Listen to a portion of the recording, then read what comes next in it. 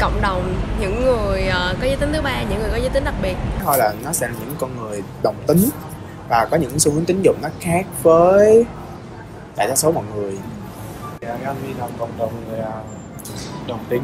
Kiểu những người à, có thích những người cùng giới tính với mình.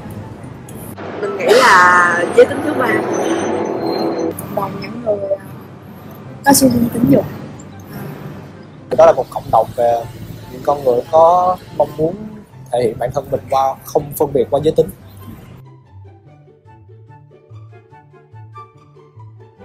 Thì cũng là người bình thường giống mình thôi chơi Ờ, nếu mà trai thì dễ chơi cũng giống như tụi mình thôi. Nói chung là hài rồi mình cũng có hồi học quân sự mình có đứa bạn chung phòng.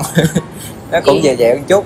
Những cái trường hợp vậy nó rất là bình thường và bạn bè mình xung quanh thì những bạn thuộc LGBT cũng nhiều và mình đánh giá là đa số những bạn đó là những bạn rất là dễ thương và hòa đồng thì họ rất là vui kiểu như họ không ngại họ thể hiện cái cá tính mình ra và cái cách mà họ truyền năng lượng đến cho mọi người rất là tốt và rất là thân thiện mình sẽ luôn tìm được những tiếng cười xung quanh họ.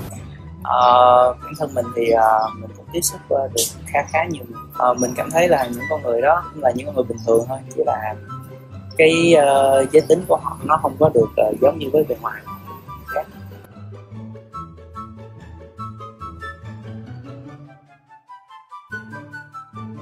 Ờ, chủ yếu là mình thấy họ được sống đúng với những gì họ muốn. Thì mình luôn ủng hộ sẽ tôn trọng và nếu mà họ kiểu cảm thấy họ sợ sợ về bản thân mình thì mình sẽ kiểu họ là sống hết mình vì bản thân mình đi. Ý là thực chất á là cái việc mà xu hướng tính dục của mọi người là đó là quyền của mọi người mình không thể nào mà mình ngăn cản được cũng không thể nào mình nghiêm cấm được mình tôn trọng cái quyết định của họ. Mình nghĩ cũng bình thường thôi tại vì người bạn đó cũng chơi người bạn người thân đó mình trước đó cũng là thân thiết rồi.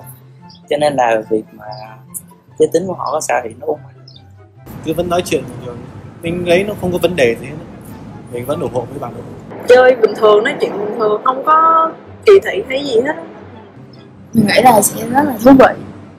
Và mình mong là mọi người đừng cảm thấy tự ti hoặc là cảm thấy mặc cảm gì đó. Là cứ thoải mái tự do thể hiện là chính mình. Như là bạn bè thì mình không có vấn đề gì. Chỉ cần người đấy có nhân phẩm tốt là được. Ờ, bản thân mình thì cảm thấy thoải mái với cái việc mà họ là LGBT và mình sẽ rất là nói chung là mình rất là tôn trọng cái việc mà họ sống thật với bản chất của họ.